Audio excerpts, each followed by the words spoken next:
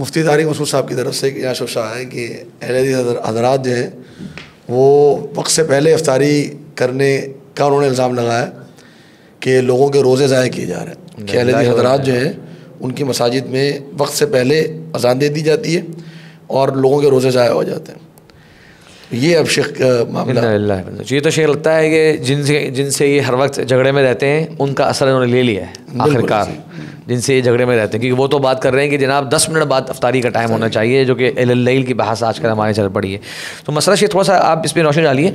मैं एक सारी ये इजाफा या ये स्टार्ट में इस पर लेना चाहता हूँ कि याद रखिए आप साहिल समंदर पे किसी दिन जाएँ और वहाँ पर सूरज जो है वो डूबता हुआ नज़र आता है। जैसे ही आपकी मोबाइल पे मैंने ये शेख खुद अमल खुद करके देखा है। जैसे ही सूरज समंदर में आपको डूबता हुआ नज़र आएगा। हमारे कराची की बात करो साहिल समंदर में।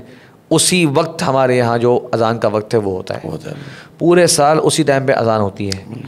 इन हजरात के यहाँ बल्कि एक मिनट लेट करने को इनके ने लिखा हुआ है और आजकल कहा हुआ है कि ये एहतियात है।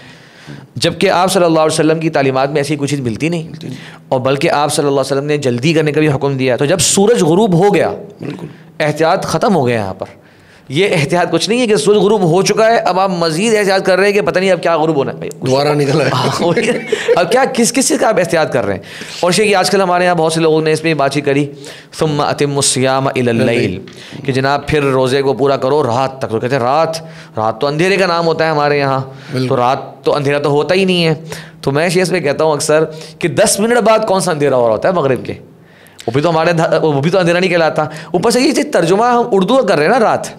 अरबी ज़बान में रात का तर्जुमा अल्लैल नहीं है। अरबी ज़बान में लईल का इतलाक़ होता है गुरूब शम्स से लेकर तुल फजर तक। अच्छा किसी से सवाल करें फजर की नमाज़ जो है फजर की नमाज़ वो दिन वाली नमाज़ है या वो रात की नमाज़ है? सब कहते हैं वो दिन की नमाज़ है। अरे भाई फजर की नमाज़ से तो अंधेरा हो रहा होता है। हाँ, लेकिन वो तुलु फजर चूँकि जब हो चुका है तो उस अंधेरे का एतबार नहीं होगा। वो दिन का आगाज़ वहाँ से हो चुका है बेशक अंधेरा है। इसी तरह मगरब के टाइम पे दिन का अख्ताम हो चुका है सोच गरूब होने से बेशक थोड़ी सी रोशनी बाकी है। इला का वर्ड भी थोड़ी सी वजाहत हो जाए कि इलाल इंतहा गाया। कि अतिम रोज़ा पूरा करो यहाँ तक के रात आ जाए। तमाम किस्म की डिक्शनरीज हम देख सकते हैं, बल्कि मैं रिकमेंड करूँगा अगर जो रिसर्च करने वाले लोग हैं लसानरब को खोलिए। अलकामूसलमहीद फैज़ाबादी की ये दोनों बहुत मोतबर डिक्शनरीज हैं और आसानी से मिल जाती हैं। अल्लैल निकालिए। लाम या लाम तलाश कीजिए, अल्लैल। आपको मिलेगा, और मैंने देखा है इसमें, दोनों किताबों में। मबदू मिन गरूब शमसी। लईल का आगाज़ होता है सूरज के गरूब होने से। इला फजर सदक़। तो जब अल्लाह के कुरान ने फरमा दिया कि पूरा कर लो यानी दिन में रोज़ा रखा जाता है ना शेख? तो कब ख़त्म करो? ख़त्म क्या हो? गायत क्या हो? एंड क्या हो? लईल और लईल का आगाज़ हो रहा है गुरूब शम से। तो पूरे साल शेख जिस टाइम मगरब की अजान होती है वही टाइम रमज़ान का होता है। अगर शरी तारीफ़ को भी देखा जाए तो नबी सबने फरमाया कि जब सूरज जहाँ से गुरूब हो जाए तो फिर तुम सारी कर लो रात शुरू गरबत शम्स। फ़कत अफ्तार साइम। हदीस अल्फाज है सूरज गुरूब हो गया तो रोज़ेदार का जो है वो उसका अफ्तार होता गया। और अच्छा, मेरी जो हदीस है नबी सम की जो आ, मैं पूछना चाहूँगा इसका माना आप बताएँ अगर एहतियातन की हम बात करते हैं कि नबी सम का फरमान है कि लोग हमेशा भलाई पर होंगे माँ अज्जलफ़ितर जब तक कि वो इफ्तारी में जल्दी करेंगे। अच्छा अगर हम एहतियात के नाम पर आपने तो एक दो मिनट कहा हमने तो सात आठ मिनट नौ मिनट भी देखा है जिनसे इख्तलाफ है उनके पीछे चल रहे हैं लोग। तो फिर ताजिलफ़ितर कहाँ है? यानी इस सुन्नत पे अमल कैसे होगा? बिल्कुल। ताजुलफ़ितर का मतलब ये कि ईशा से पहले को अफ्तारी में जल्दी करनी है या मतलब मगरब होते ही फ़ौर अफ्तारी करनी है? तो फिर ये सुन्नत कहाँ जाएगी? बिल्कुल ऐसे ही और इसी के रोज़ों को जो ज़ाया करने वाली बात है मैं बड़ी मादरत के साथ अर्ज़ करना चाहूँगा।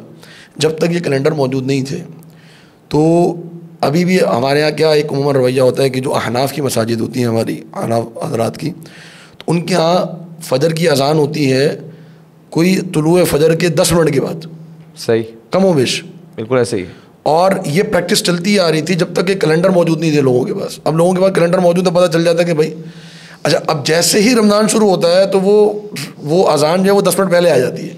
ऐसा ही। है तो मतलब आप इसका मतलब ये कि आप आप अजान लेट कर रहे थे ना। अल्लाह भला करे कि कैलेंडर कहा कि ये कैलेंडर आ गया वरना पहले तो सूरत ये थी हमने अपने बुज़ुर्गों से सुना है। और आजकल गाँव के अंदर हमने देखा भी है ये मामला। कि वो दस मिनट लेट ही अजान दे रहे थे रमज़ान के अंदर भी।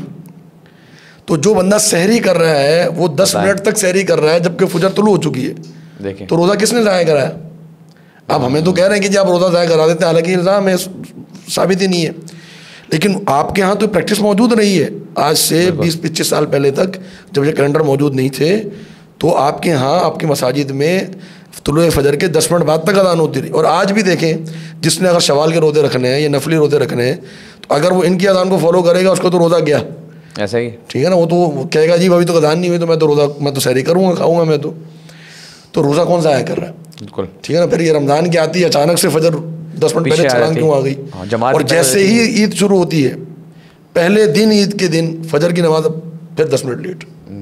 तो सुन्नत की मुखालिफत कौन कर रहा है? बस इसी हमसे इनसे ये भी एक मुझे कहते हैं एक संजीदा हम मुतालबा करते हैं कि आप हमें बताइए कि किस दिन आपने ये चीज़ चेक करी है कि हमारी मस्जिद से अजान बुलंद हुई और सूरज गुरूब नहीं हुआ हुआ था आप कोई इस तरह की वीडियो बना दें जी। कि जनाब देखिए सूरज यहाँ नज़र आ रहा है नज़र आ रहा है। मिसाल के तौर पे। कहीं तो कहीं तो एक प्रैक्टिस कर सकते हैं ना आपने एक जनरल हमारे बारे में एक ये क्लेम किया कि हम लोग सबके रोज़े ख़राब करते मैं आज ही देख रहा था हमारे मशहूर आलिम दीन जो है शेख अबू याह्या नूरपुरी हफिज़ुल्लाह उन्होंने बनाई आज वीडियो लाइव वीडियो बनाई उन्होंने। अच्छा। और वो खड़े हुए छत के ऊपर गए सरगोदा में उन्होंने लाइव वीडियो बनाया कहा कि ये देखें सूरज गुरूब हो रहा है। फिर वो खड़े रहे खड़े रहे सूरज गुरूब हुआ। गुरूब होने के बाद जब बिल्कुल सूरज गुरूब हो चुका है उसकी जो टिक्की होती है वो नज़र नहीं आ रही उसके बाद अदान शुरू हुई है। देखें। तो मतलब आपने हो सकता है कि अगर हो सकता है तारिक मसूद साहब ने किसी मस्जिद का अजान सुन ली हो जहाँ क्लॉक कोई आगे पीछे हो घड़ी को आगे पीछे हो तो वो मुमकिन मुमकिन हम ये नहीं कह रहे कि उन्होंने मेरा तो अंदाज़ा ये। शेख कि क्योंकि बाकी हाँ। जगह एहतियात चल रहा है और हम उस एहतियात के कायल नहीं है ना तो इसकी बेस पे उन्होंने ये कह दिया कि आप लोग पहले ही ये बात हुई होगी बिल्कुल बहरहाल अल्लाह ताला सबको तौफीक दे।